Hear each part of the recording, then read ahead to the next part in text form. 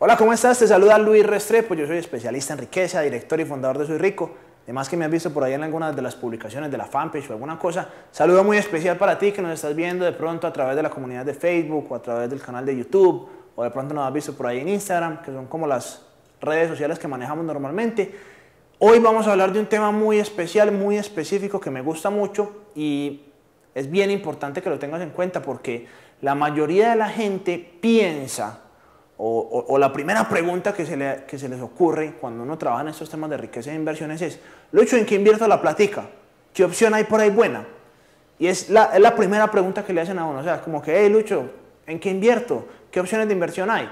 Y yo siempre les devuelvo la pregunta, la verdad es que no es la opción, sino qué tan buen inversionista eres tú. Y podrá sonar muy aroquillos aquí, pero es en realidad.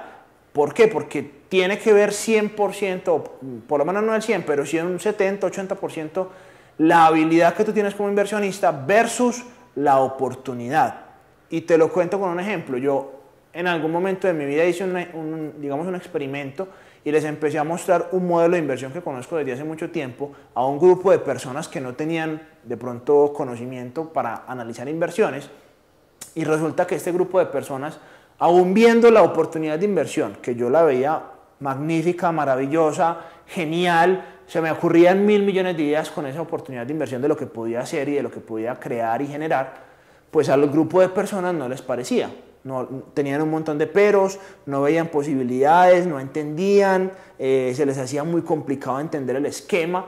¿Y qué es lo que pasa con esa situación? Muy sencillo, que realmente las personas, si no tienen la, digamos, el conocimiento y el criterio para evaluar una inversión, no van a poder hacer nada por más oportunidades de inversión que se les presente.